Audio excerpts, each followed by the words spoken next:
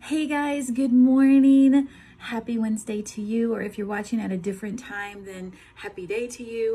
I have a great word for you guys today. It was put on my heart. As always, God puts this on my heart, and it's so heavy and strong, and it's just something that I know needs to be said, I know needs to be heard, and so I am just obedient and giving the message to all of you. So, this morning I want to talk about a scripture in the Bible that is also a very powerful commandment, and that is love thy neighbor in this world that we're living in nowadays, guys, there is so much hate and so much anger. And I look back at my life and uh, whenever I first escaped human trafficking and when I was on the run and right after I had went through the trauma that I had went through, I hated everybody.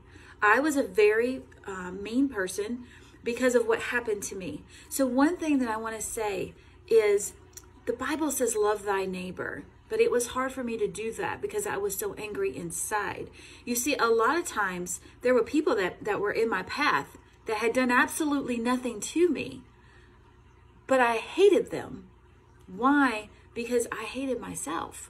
Because I had so much anger inside of me for things that I hadn't healed from, then that trickled down to each person that came across my path. It's not about flesh on flesh it's about a spiritual warfare. And it took me a very long time to realize that and to see these people didn't do anything to me. They were just in the path of me. And so, what I want to speak today, guys, is about loving your neighbor.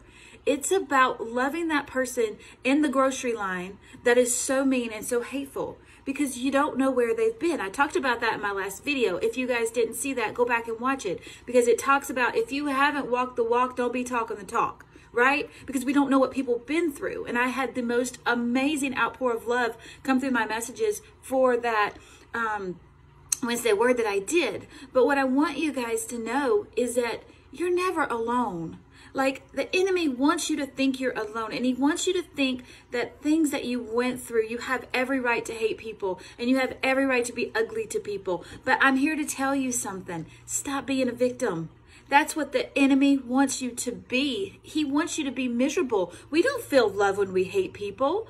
You know, I had two different men the exact almost the exact same look to them uh, the guy that bought me into human trafficking was a big black man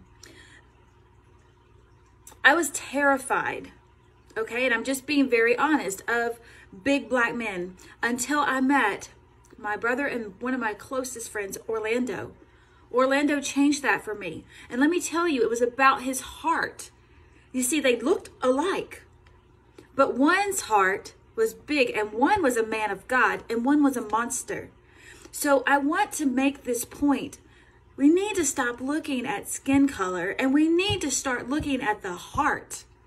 See, you never know what somebody goes through and whatever nationality or background that they may be from. But we all have a heart. We all bleed red. And so it's so important that we show love to our neighbor. It never says in the Bible there's diversity. It never says love this person and don't love that person. It says love thy neighbor. So we got to stop the hate. We got to stop it because I have to tell you, I hated this man for the longest time until God showed me how much it was ruining my life. And so then I had to realize, you know what? He hurt me. But somewhere down the line, someone hurt him. The guy that lured me into human trafficking to do such an evil act, somebody hurt him. See, it's all about the heart and whether that heart was hurt, that that heart was tore apart, that heart was never loved, that heart knows Jesus or that heart don't. It's about the heart and people. And it's time, guys, that we start realizing that we need to love our neighbor and stop letting hate take. Hate is like a wildfire, guys. It just takes off. And before you know it, so much hate has engulfed us that we can't even see love when love is waiting for us. Any person I meet, I love on them. I tell them, you're special, you're worthy, you're important. And guys, I can't tell you the difference in when you show love versus when you show hate. I'm not proud of the person I was or the hate that I would spew, but I'm proud of the person that God has me today and the love that I share. And, and when I see people and they're mean to me, I show love back because you don't know what they're going through. You don't know what they've been through. So love thy neighbor. Let that spread out. Let that go wild. Dr. Martin Luther King Jr. said, Hate doesn't drive out hate, only love can. And if you guys know me, y'all know I'm not very good at memorizing things, but God just put that on my heart. I want you to know we have to stop with the hate. We have to start loving our neighbors. We have to start understanding they have a path. They have something that they went through. Just because they look differently than we look doesn't mean that their life is different than what we've walked. Human trafficking doesn't have a color. It doesn't have a nationality. It attacks all. Sexual predators attack all. Maybe you went through something as a child and you're still have that hate and anger inside of you. And I'm telling you, if you let go and give it to God, He will take it from you. He will make you new again. It is the enemy that's holding you in that shame and guilt. It is the enemy. Y'all, if you went through a childhood of, of abuse, don't let that generation continue with your own children. That is fingerprints of the enemy. God wants you to break that generational curse and He wants you to show love to your children. Well, just because your dad did it to you doesn't mean you do it to others. Just because somebody did it to you doesn't mean you do it to others. It's not an eye for an eye, guys. We need to break that cycle and say, you know what? I'm going to love instead of hate. Yeah, this happened to me, but I'm still here. I'm still standing. I have a beautiful family. I have beautiful friends. I'm happy to be alive.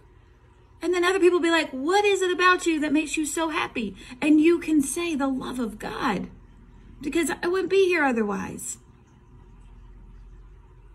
I pray this touches your heart. I pray this speaks to you. I pray that if you're in a place that you are just so broken inside that you know all you got to do is reach out and he will grab your hand. I'm telling you from experience. I'm telling you from a person that came from hate. It wasn't anything that anybody that crossed my path after that did to me. It was that trauma that got me and the enemy that continued to use that with each person that crossed my path until God took it from me. Love thy neighbor. Gotta stop the cycle, guys. We gotta stop the hate. It's not getting you anywhere. When I see people fighting, I wonder what's your background? Who hurt you so bad that all you want to do is hurt other people. Because I was that person. I hated men for the longest time because of the hurt and abuse that I went through from men until I realized there are men like my husband who's absolutely amazing, who treats me like a queen every single day. You can't judge another person by how one person treats you. You got to know there are people that have big hearts and they just might have went through bad things. And your love can kind of get that heart ticking again. So love your neighbor. Don't fall into this trap of hate that is crossing our united, our whole entire nation. Love each other. That's my message for today. I love you all. Thank you for watching.